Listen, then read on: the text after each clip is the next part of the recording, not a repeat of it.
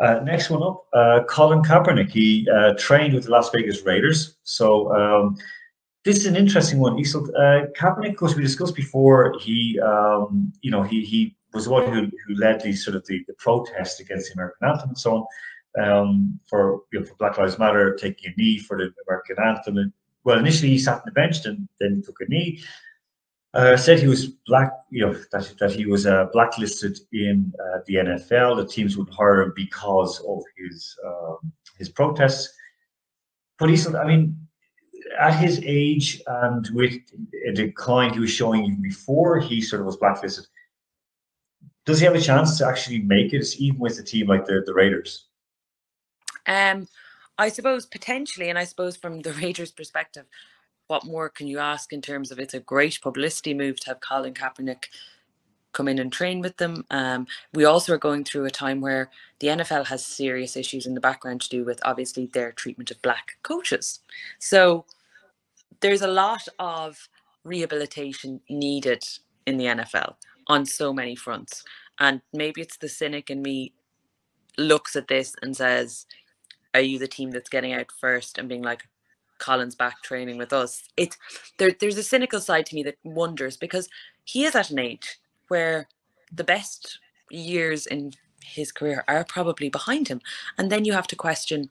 I question motivations in doing it. It's great, obviously, for him because I, th- I think, from his perspective, irrespective of the role he may play in terms of a long time, long term role with the Rangers, if in fact they were to sign him, um, and have him join the team fully. But like if he's back with them on any sort of long term contract, optically it's good for them. For him, I suppose it would show that he had reached a stage where he was no longer going to be the player that was blacklisted. Because even when people are coming out, even when Nike are running their campaign in support of him, no one's signing up to have him come back into the league.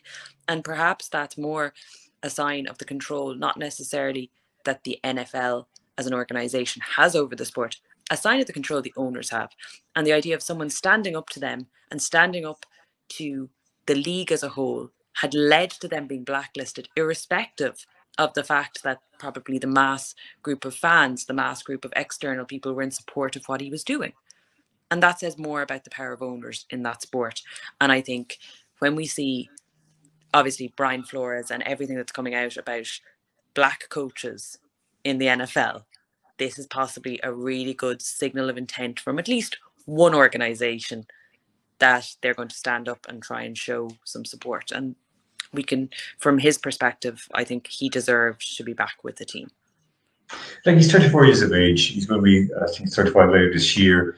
Um, the one issue, he was a very much, he was a very athletic um, running back as well. I mean, he, he's, you know, he, he was great running with the ball. He was well in, in college and with San Francisco.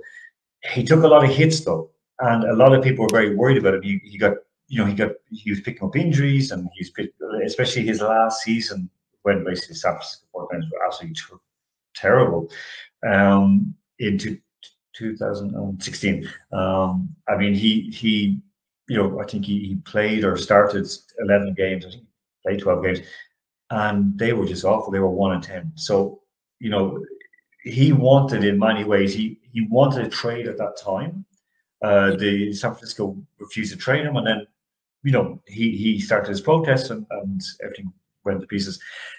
One thing, to say, if Tom Brady can play until uh, you know, say late middle age, you know, he I think anyone can do it as well. Colin Kaepernick is like he, he practices yoga, he takes care of himself as well. I don't think he drinks. I don't think he smokes. So, you know, there is that. The only thing I would say though is he's in a very different position to Tom Brady, which is a relatively protected position. And the one thing I would say is when you are, there's no substitute in his position for the ability to train in game like situations. And it's very difficult when you've been out. Like you can get yourself, it's why you see so many particularly actually Irish rugby players, ex-Irish rugby players, you would occasionally meet them and they look like they're in great nick after playing a very heavy sport for years. But even though they're in great shape, if you put them on a rugby field in the morning, they're not going to do much in the sense that there is a certain amount of match fitness and training in game like situations that definitely matters more in his position than Tom Brady's. But I do take your point. Tom Brady is still there. It gives hope to all of us. Exactly. And look, a different kind of player as well difficult player. He is a passing quarterback, whereas Kaepernick is a running quarterback. And uh, uh, uh like at times he was wonderful. I've seen him playing when playing in college. He was absolutely unbelievable. But anyway,